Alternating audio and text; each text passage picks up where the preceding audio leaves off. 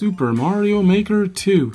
Seven other great ideas that um I wish Nintendo would also add to Mario Maker 2, which I also think will make a great benefit to it. It'd be so awesome if at least, even in a future update, if one of these can be implemented. You never know what Nintendo may surprise you with next. So um, starting with uh, number one. Screen and tiles with uh, more flexibility. I know Nintendo said that there's going to be some way where if you um, design a perfectly um, set row of um, tiles that align to the end borders of the screen, it will actually center the screen when Mario um, is in that part of the map. Maybe when he comes up through a drain pipe or a door. This right here is just an example of one of my 2D computer games that I was making a long time ago. I decided to use this as an example, as one of the great ideas I would like to see Nintendo would also add this. Now, that's great that Nintendo's already um, doing something like this, but let's just say now, let me just fill this one up for an example. This right, this little donut circle thing here is actually where the um, the object is that the camera follows. That would be where Super Mario is for now. So let's just say I filled up this screen on this demo here, and um, it looks like this, right? So basically, when you do something like this, I was told it's gonna, the screen's gonna stay centered on it. Well, these, these two also would have to be covered up. So let's just, this is what I'm thinking. It'd be cool if Nintendo did something like this. Let's say, um, I select a green one. This is just from my game, so I'm giving away this amazing idea. And I put uh, um, end screen tile over here, let's just say. So when I, if I put it here, um, and I, I click it on the map, sorry, I have to put it on the other layer. So now what happens is, screen stops moving that way. Now if the object passes the tile, it will then center back on, but if it goes past here, then it goes back. So this way I can control things better and hide more secrets that way. Now if I don't want the screen to go up, it's the same thing. I do it for the other way. I put one over here, and now, so then it stops. And they could do it for all the other ends. This is also, I think, a great way um, for um, doing even this one. This one's now called um, this one's called a permanent end tile. This would be great if Mario Maker had one of these. So that way you can, from the upper part of the map, oops, wrong um, map. Let me uh, do that, let me fix that. Basically, um, with, um, you can have the lighter end tile maps, right? So, for example, this could be a great way for Mario to then be on the map, let's say at the upper part, and if you want to, something like this was also done in Yoshi's Island World 2, and if he falls down here, not only will the screen not move back towards him, but he'll just fall off and die from there. And only where the um, tile is, it will work. So if it's way off the map, then that's not activated. Of course, this requires a more huge learning curve for people who have a more advanced logical idea of how to make levels like this. Of course, this can be disastrous if you mess it up and then you don't put these um, tiles in the right places. So um, I know Nintendo can be reserved like that. Let, us so for example, this should be here. The minimum it should go out is here. But if I bring it closer, then it kind of makes it a little bit more confusing like that. So basically, it should be there. Oops. Once again, I put on the wrong map. Sorry there. And that's what holds the screen to place. So you must be wondering, what's the big deal about this? Well, suppose you want the screen to be just a little bit bigger. Suppose you want the screen to, um, for example, be right here. And um, you want it to be even longer, the map. So Let's say you wanted it to be this or even a little higher. So let's say it's here instead. So um, that way when it gets uh, fixed now, um, basically now you can have more control over how the screen modes work. So, oops, once again I messed up there. so basically, now the screen will stop from here then to there. So you have more um, control over that.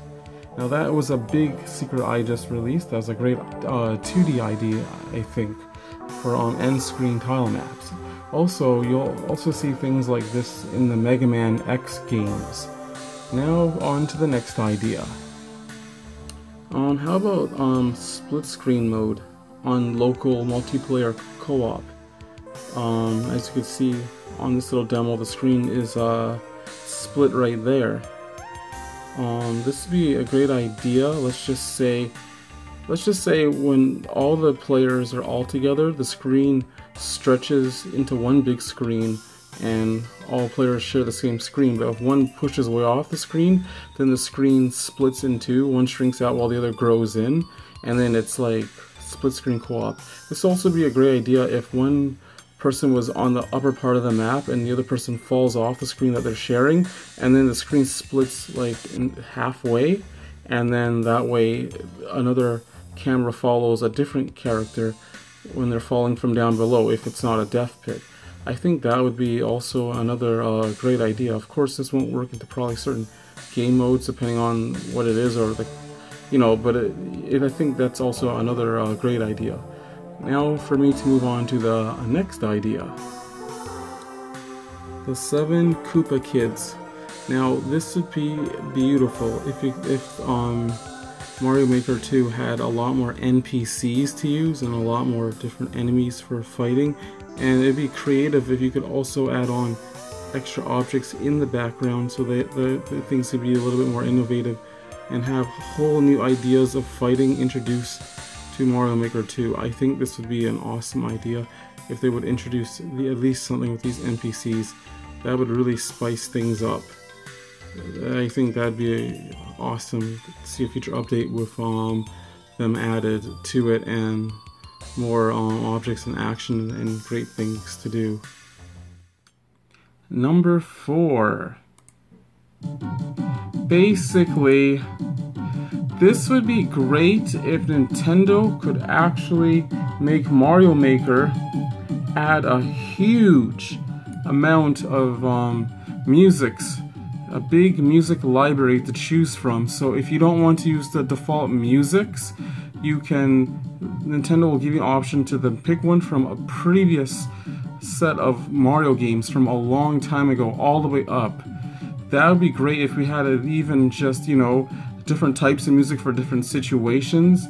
This will definitely help spice up the levels and bring more emotion to the game. I wish Nintendo would really do this one because you can get tired of hearing back the same musics for the same theme background level. This would be a great add-on to um, Super Mario Maker number 2.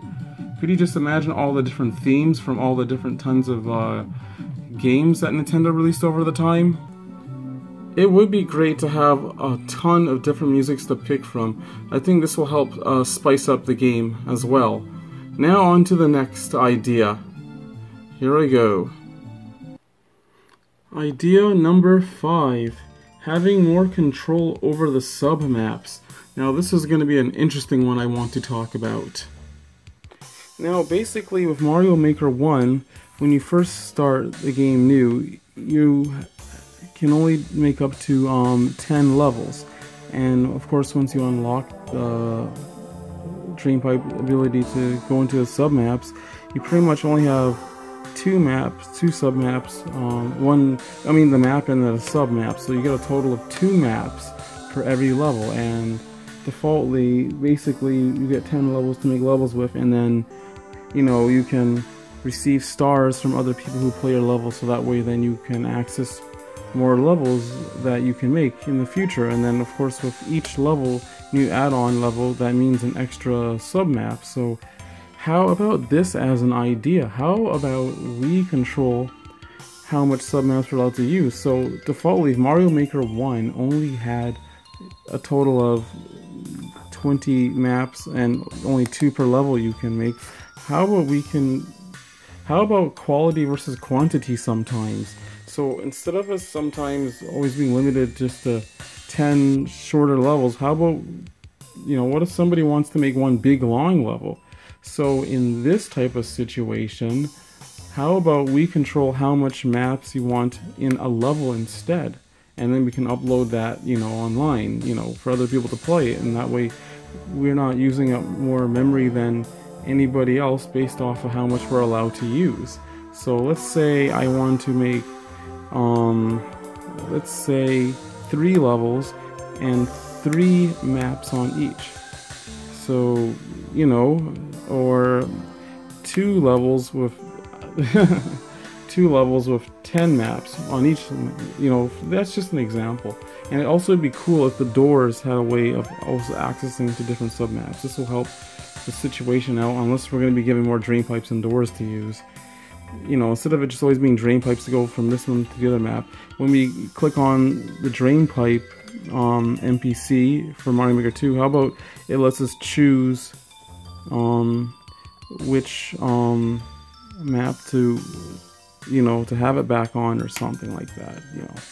You know that'd be an awesome i think idea. And um you know we'd have more flexibility and control let's say you don't want to design 10 levels you only want to design a few levels but you want to make them really long i think this would be a more great and flexible idea first when you create the level you initially put how much maps you're going to have with that level based off of how much more left you're allowed to, to use you know, like defaultly on Mario Maker 1 it was like 20 since we had 10 levels with an extra map on it, you know.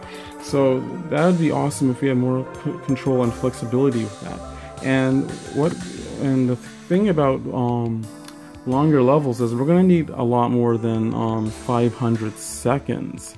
So how about also as another thing, instead of us always just being limited to the 500, why can't we also have an option for infinity. This would definitely help us out big time. Now I'm going to go on to um, the next idea. Um, before I go on to the next idea, I forgot one more add-on that was crucially important to this video that I don't know how I overlooked this. You see how we have the starting point and the goal point that will determine the length of our level? I know in Super Mario, Super Mario Maker 2 they now actually gave you um, a way to increase the height somewhat, but I'll let you know my idea. Okay, let's just say for every single map, there is a this is this is just an example. There's 64 um, thousand tiles. Let's just say that, and you know the, the smallest um, map you can have would be the same size as this, the minimum of which is the same size of the screen. Sorry, my camera's losing focus. So let's say with your stylus pen or you know um, your hand or however you're gonna control the weight, the length of the level, it says how the total amount of tiles and how much is left. And depending on how further you stretch it here, you, will use out all 64,000 tiles, or if you stretch all the way up this way, you'll use up all 64,000 um, tiles. So let's say you want it to be a medium size level.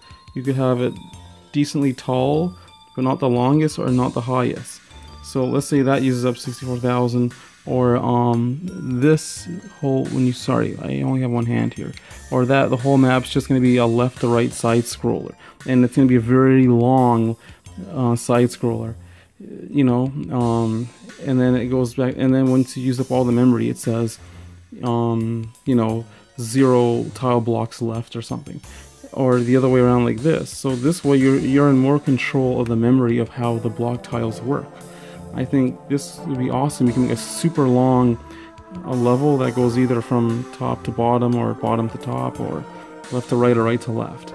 Or uh, if you want to average size one, you can stretch it somewhere in the middle here until you have zero um, blocks left.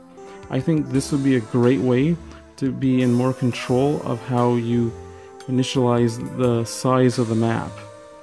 Sorry, my thing is um, out of focus. I think that would be a great idea for um, Mario Maker.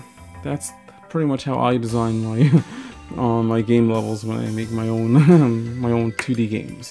But I just thought that would be a, a really um, great idea. So yeah, and once again, why do we always have to start from, you know, left to right?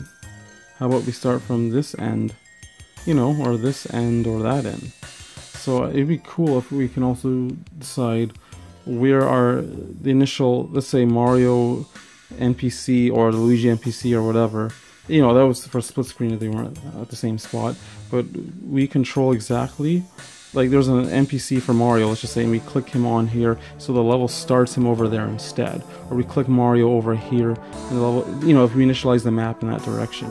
Or, you know, that'd be so cool if we had more control over where we initiate Mario when we start the level. I think this would be an awesome, super idea. Okay, here's idea number six. This one's a fast one. Um, alternative secret ending. And instead of it being the regular key that Mario already uses to open up regular doors, it can be a unique, different type of key that only opens up that special uh, keyhole, or you find a treasure chest or something to end the level in a different way. Now, I think this would only benefit if you were designing a level in Mario Maker 2 for um, the story mode, you know, the build story builders mode. You know, to get, let's just say, extra coins or something if you can actually find the secret alternative ending. I think that also would be um, another great idea to add on to Super Mario Maker 2.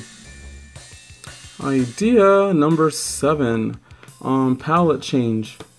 Now this one would be a massive killer. If we can actually change the palette of um, the background levels, this would spice things up and it'll give more nostalgia, especially with the other idea I mentioned about having over like, let's say 100 different songs or maybe even 200 different songs from a, a collection of previous Mario games. This would really help make things more exciting and never get boring in the long run. I think um, changing the palettes would be um, a super idea basically it's about changing the palette, you know, of the same background, if you know what I mean. It'd be cool if we um, actually had an option to click on different sets of red, green, and green, red, green, and blues on the map to change, let's say, even the upper part of the sky to the lower part of the sky so we control, or, you know, if it's the hill or whatever in the background, and then we can have it fade into the other end result point color this would be a great way to change things and especially if we can have more options to change other individual aspects of the background or the foreground. This would be an awesome idea. I think um, this would boost up um, Mario Maker 2 to a huge degree. I'm sorry guys, I actually screwed up. I don't know how I did this, but I I forgot. There's this other idea I overlooked. Idea number 8. How about these other special abilities from other previous Mario games like Super Mario Bros. 3 from Super Mario Bros. you know, Super Mario Advance 4? It was a shame that, um, once again, I know Super Mario Bros. 2 wasn't a part of this, but to, um, have the digging ability, and you can see the Super Mario Bros. 3 sprite doing this, that would be a great, um, thing to have.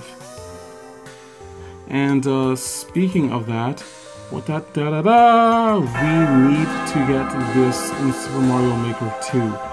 This is unbelievable.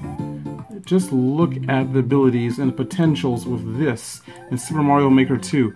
Running up walls, putting it in a loop form, and um, actually being able to have Mario with the raccoon suit or the cape suit or whatever run in circles if they're you know and build up a speed that way or go up the walls and stuff that'd be an awesome idea to add also to Super Mario Maker 2 a part of this also reminds me of Yoshi's Island Super Mario World 2 whenever the baby got the Starman on Yoshi's back and then um, you know baby Mario could do this like it was just so amazing like this needs to be added.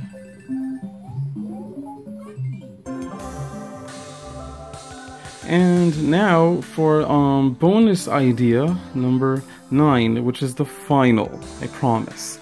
Basically, this is a bonus idea, but how about Nintendo releases a long, a very long wire cord that plugs um, your Nintendo Switch, you know, from the bottom here all the way to your um, dock station.